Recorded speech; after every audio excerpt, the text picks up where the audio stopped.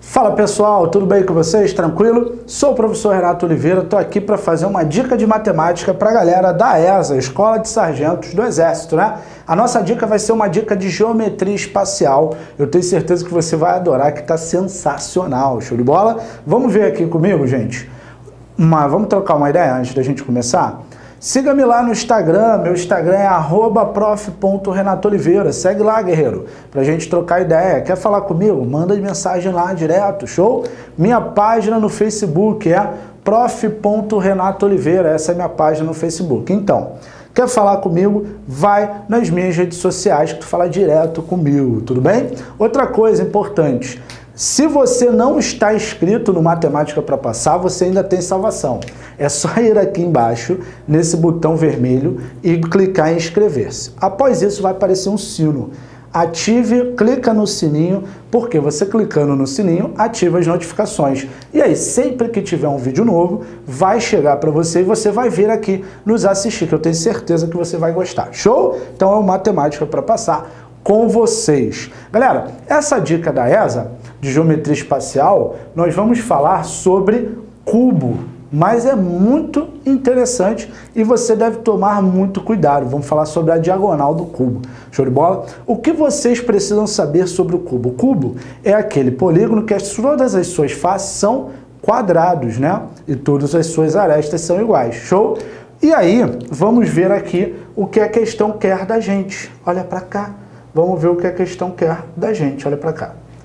A diagonal de um cubo de aresta 1 mede 3. Então, ó, vou sublinhar, cria esse hábito, guerreiro. Por quê? Sempre que tiver uma questão de matemática, se você sublinhar, eu tenho certeza que é o primeiro passo. Eu sempre falo, 50% é sublinhar a questão, tá? Então, a diagonal de um cubo de aresta 1 mede 3.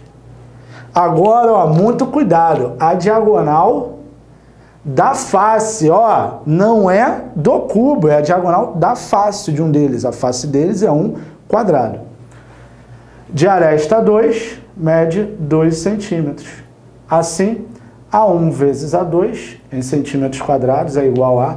Meu Deus, como é que eu vou fazer isso? Primeiro, você tem que saber como é a diagonal de um cubo, galera diagonal do cubo. Tá? Vamos ver como é a diagonal do cubo? A diagonal do cubo é a raiz de 3, ok? Diagonal do cubo é a raiz de 3. Tudo bem? É a aresta vezes raiz de 3, a diagonal do cubo. E você tem que saber também como é a diagonal do quadrado. Vamos lá? Porque a face do cubo é um quadrado, então diagonal do quadrado. Como é que é a diagonal do quadrado? É L raiz de 2, né? Então, a diagonal do quadrado vai ser a própria aresta, que é o lado. Vou botar que é L raiz de 2, tá? Só que o L é o, é o A, tudo bem? Show de bola! Vamos lá? Agora vem comigo.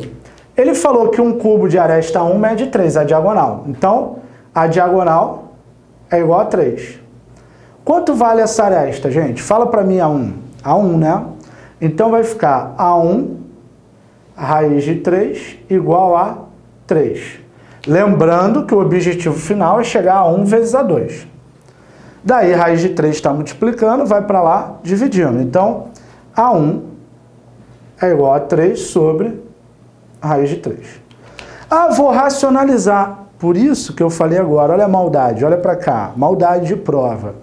Por isso que eu falei agora, para você lembrar que tu quer A1 vezes A2. Deixa desse jeito, você já vai ver como vai ficar gostosinho no final.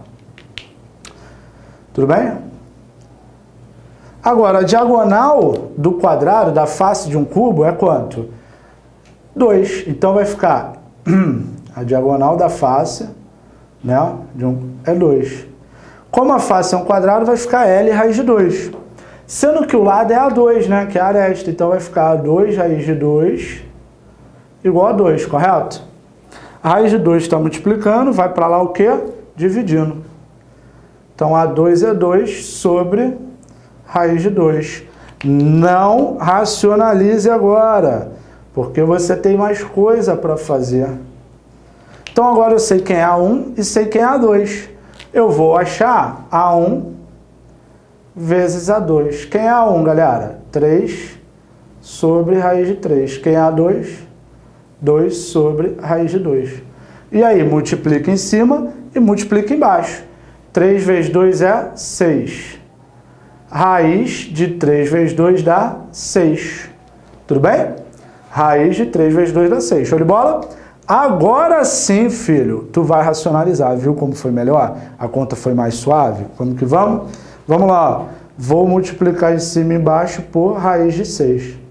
Renato, mas eu racionalizei logo e já deu a resposta. Tá certo, cara. Pô, vamos lá. Vai ficar 6 raiz de 6 sobre raiz de 6 vezes raiz de 6 é raiz de 36 que dá 6. Sumiu, né? Aqui eu venho, ó, facão. Qual é o meu resultado? Raiz de 6 é o meu resultado. Qual é a letra correta? Letra C, marco V da vitória. Show de bola, né?